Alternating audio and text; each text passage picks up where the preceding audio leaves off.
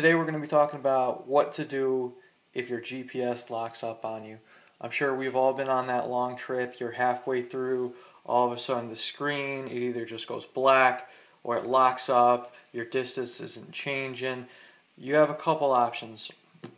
This is a TomTom GPS. Right now it's working pretty good. Uh, the screen is a little stuck. You have a couple options. You could shut the power off, resync it to your computer, update your firmware. There's also a little reset button on the bottom here. You could play around with that. There's one more option. Again, this one's pretty much okay. I have another GPS here where the screen is frozen.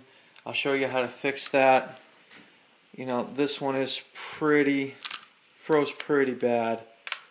Uh, what you can do, take it over to your stove Give it a couple minutes. You should be able to get that screen unfroze.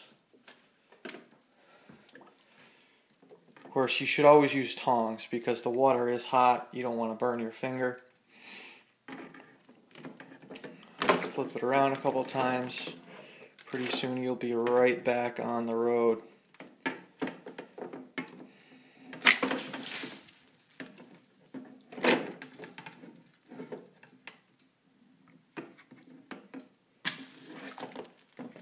It's looking pretty good.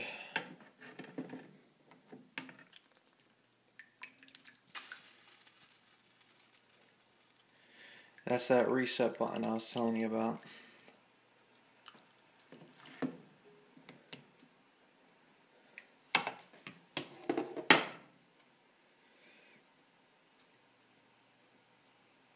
That should pretty much take care of it.